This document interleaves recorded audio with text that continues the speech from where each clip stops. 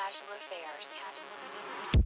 She was down, but she wasn't. No, bitch, you get nothing. Fuck you. I never realized how much my face has changed until I saw this old photo of myself. This was me at 21, I'm 26 now, and I see so many people talk about buccal fat removal and young people like hating their chubby cheeks. So I want to tell you what I told myself at this age when I didn't like my chubby cheeks. I told myself, okay, I might hate that I look like a baby now, but I'll appreciate it when I'm older. And after losing some facial fat throughout my 20s, I gotta tell you, I do appreciate it.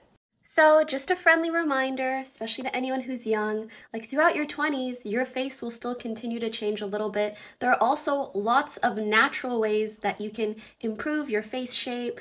Gua sha, uh, retainers helped minimize my TMJ a ton, so many other things. But please don't feel the need to rush into a procedure just because of a little cute baby fat, okay? Sink. Fuck what you think. You don't even know my name. What you know about me. You can see a thing, but I know these things and they creep